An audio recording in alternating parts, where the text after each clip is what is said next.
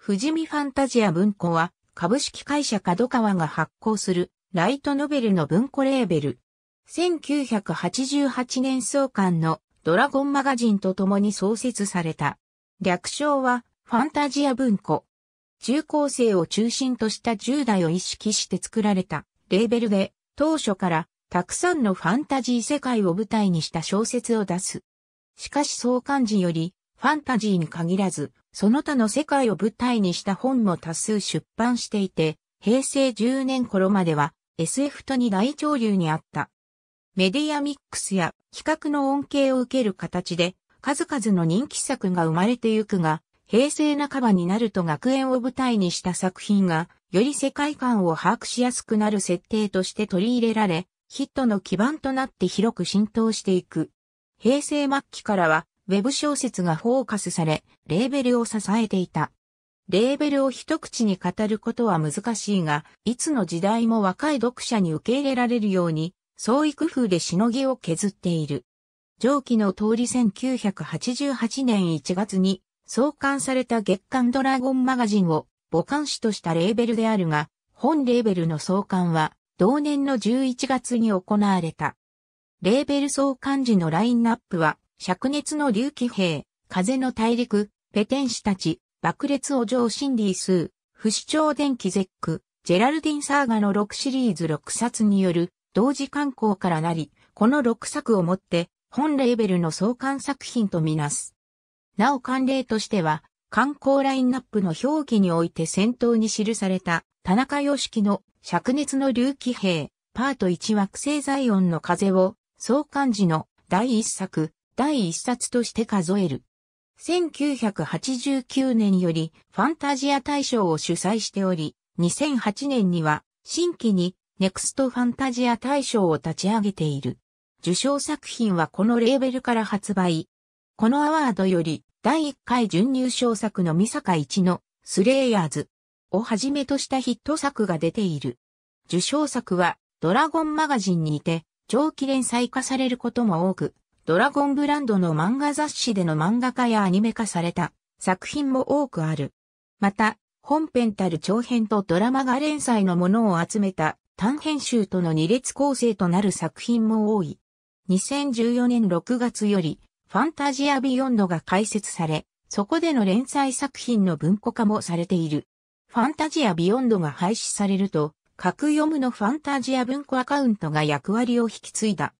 当初は期間にはピンク色の帯に、夢、大爆走としたキャッチコピーを用いていたが、2000年代中期からは実行にリニューアルされた。ただし、現在期間に統一された帯、キャッチコピーは付属していない。現在では、電撃文庫、角川スニーカー文庫と並ぶ、ライトノベルのメジャーレーベルである。2社とともに、角川系列のレーベルであり、1990年代後期から2008年まで在庫管理のため背表紙に二次元コードを設けていたが、現在は廃止している。創刊以後、長らく表紙を太字ゴシック体の大字、挿絵を左下に配置するデザインで基本的に統一していたが、2000年には大字部分を2005年頃より表紙デザインを自由化する。2008年8月の新刊からは背表紙のデザインも変更され、ファミ通文庫や HJ 文庫で採用されているシリーズ番号を導入した。なお、それ以前においての各巻の番号分類は、前述の灼熱の竜気兵、パート1惑星ザイオンの風を1から1として、以降、全番号5番号という表記によるシリーズごとの分類番号を用いていた。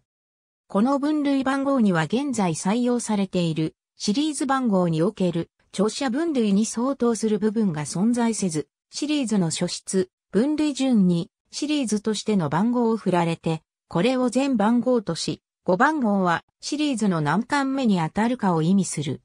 旧来の作品を除けば、表紙にイラストレーターの表記は長らく未掲載だったが、2013年5月から掲載されるようになった。ただし、2013年4月以前から刊行されているシリーズは引き続き未掲載のままである。以前はシェアードワールド化の一環の小説も扱っており、現在は富士見ドラゴンブックがこの傾向を引き継いでいる。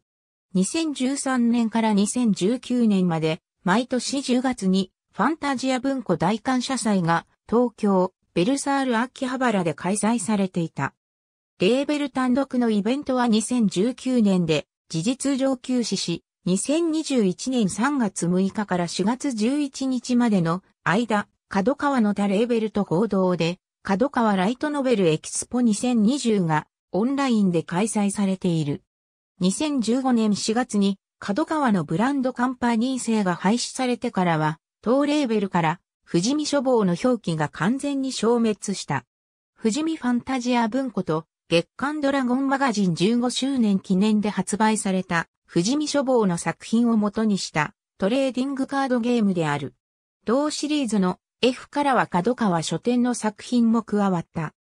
富士見ファンタジア文庫と月刊ドラゴンマガジン30周年記念企画の一つとして制作が決定したで、富士見ファンタジア文庫作品のキャラクターが一堂に集結する iOS、Android、PC 用クロスオーバー RPG である。X の後角川の合同プロジェクトで、グミが企画、開発として参画している。2020年12月17日より配信開始。配信に先立って、ウェブラジオ番組、ファンタジア、リビルドエンデトリノの愛した世界を紡ぐラジオが配信されている。